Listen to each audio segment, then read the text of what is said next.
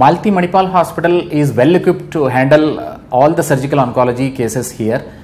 like breast cancer, lung cancer, uh, mouth cancer, tongue cancer, lung cancer,